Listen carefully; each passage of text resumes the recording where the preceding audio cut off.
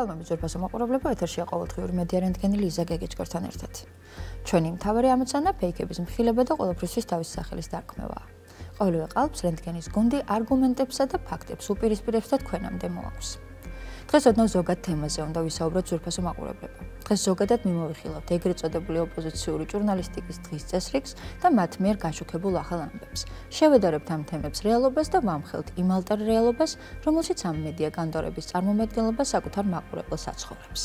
მოდით იმისთვის რომ თქვენი ძვირფასი დრო არ დავკარგო, ავიღოთ ამ სამი მედია კანტორის, ანუ შეზღუდული პასუხისგებლობის საზოგადოება მთავარის, TV უკანასკნელისა და მეტროვე ფორმულა საინფორმაციო გამოშვებების პირველი სამი ამბა.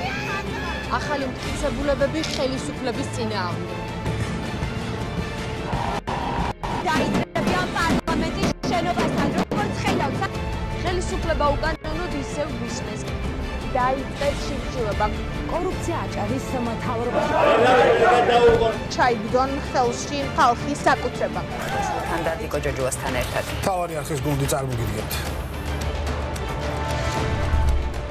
მომილოცავს თვის ტროლის ჯილდო ამჯერადაც უცილობლად გადაეცემათ ქართულ ტროლებს. თვის საუკეთესო ტროლების სტატუსი ქართულ ტროლებს. რას აბრალებდნენ ვიოლა ფონკრამონს და რას პასუხობს ბრალდებებს ევროპარლამენტარი.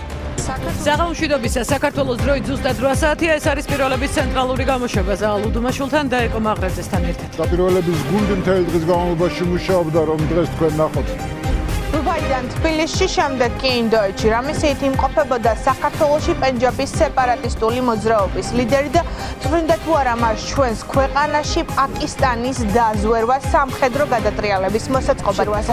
დიკოთის უღელტეხილის გზა ამ დრომდე დაკეტილია. ეს უკვე მეოთხე შემთხვევა უკანასკნელ ორ თვეში, როდესაც ავტომაგისტრალი უამიდობას ვერ უძლებს. რატომ გახდა აღმოსავლეთი დასავლეთის დამაკავშირებელი გზა ხალხისთვის საშიში და როდის გაიხსნება უღელტეხილი? გიყვებით. გადასკვნები გამოაქვთ ოპოზიციურ პარტიებს სოციოლოგიური კვლევებიდან. რა ჩვენა აიარაის მონაცემებმა. ჩვენ დავინახეთ რომ კლანი და ოცნების პოლიტიკური ლიდერშიპი ეს ერთი დიდი კლანია. ზუსტად ამიტომ გადაეფარნენ მათ ყველაფრის ფასად. ახლა კი მოდით ზედმეტი წინა სიტყვების გარეშე ვნახოთ რა კეთდება და რისი გაშუქება არ მოისურვა ან მედია ჩეჩმების წარმომადგენლობა. ეცნების თავმჯდომარე ევროსაბჭოს საპარლამენტო ასამბლეის მომხსენებლებში შეხვდა ევროპის 12 რეკომენდაცია და საქართველოს პროგრესი ქრონიკა სტრასბურგიდან. პრემიერის წარმატებული ვიზიტის დისკრედიტაციის მცდელობა იმას, რასაც ოპოზიცია ამტკიცებს, შარლ მიშელის პრესპიკერი უარყოფს. შინაგან საქმეთა მინისტრი გერმანიაში ვახტანგ გომელაურმა კოლეგასთან ნენსი ფეზირთან თანამშრომლობის საკითხები განიხილა. მხარეებს შორის ნაყოფიერი ურთიერთობის მნიშვნელობას გაესვა ხაზი, განსაკუთრებული ყურადღება გამახვილდა არალეგალური მიგრაციის და ორგანიზებული დანაშაულის წინააღმდეგ ბრძოლის მიმართულებებით განხორციელებულ ღონისძიებებზე.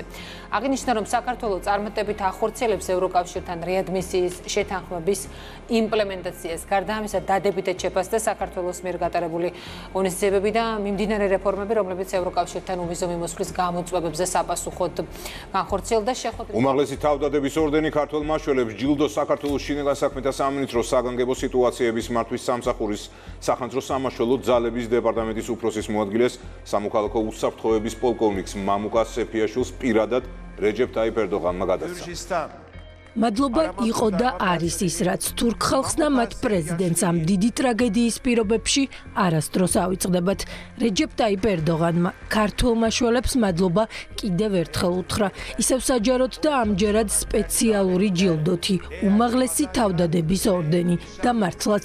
თავდადების მაგალითები მიწისძვრისგან განადგურებულ ქალაქებში საქართველოსდან ჩასულმა მაშველებმა არაერთხელ აჩვენეს. ალბათ ხვდებით თუ როგორი ღრმა ოფსკრულია რეალურ მოვლენებსა და ამ ამ კანტორებს შორის. აქ საგულისხმო სხვა გარემოებაა ძვირფას მაყურებლებო. აქ საგულისხმო და ყურაცაღები ის არის, რომ ყოველ დღე, ყოველ გამოშვებაში, თუ ანალიტიკურ გადაცემაში, შოუში თუ რუბრიკაში, გადის მხოლოდ და მხოლოდ ნეგატიური ამბები და ისიც თავიანთი გამოგონილი, უარგუმენტო, დაუსაბუთებელი, გაუგებურ ანონიმურ წყაროზე დაყრდნობით შექმნილი დამზაფრელი ფეიქები. Ну ის რომ საზოგადოების ამ ფენას ფსიქიკურად ყველაფერი კარგად ვერ აქვს ეგ ვიცით, წარმოუდგენელია უბრალოდ ადამიანს ჯანსაღი ფსიქიკა შეგინარჩუნდეს იმ ღვარძლში, ბოროტებასა და ბოღმაში, რაშიც ესენი ყოველდღე ცხოვრობენ. იმ შემორჩენილ მაყურებლებს ხომ აგლეჯენ ნერვებს და ამით ხარობენ. მე არ ვიცი მათ შემთხვევაში რასთან გვაქვს საქმე. პირველ რიგში, საკუთარი სამშობლოს მტრობაში. ისტორიულ მოთხოვნილებაში თავი მოიჭრან თავადაც და მოჭრან სახელმწიფოსაც. ეს აღარ გამოსდით. მხილებები მოხვება ყველა ფეიქს. მაგრამ აი ეს ბოროტება და ნეგატივი, რაც მათ არხებზე ტრიალებს, სულ მეგობრებო, განუწყვეტლი.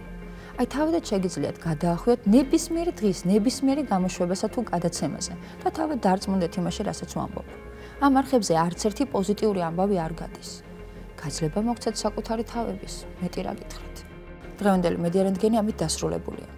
ერთმანეთს შევხვდებით ხვალ ტრადიციულად 17-ზე, რა თქმა უნდა, პოზიტივის ეთერში. მე კი ჩემი ხრივ, მშვიდობიან და უფეიქო საღამოს გისურვებთ.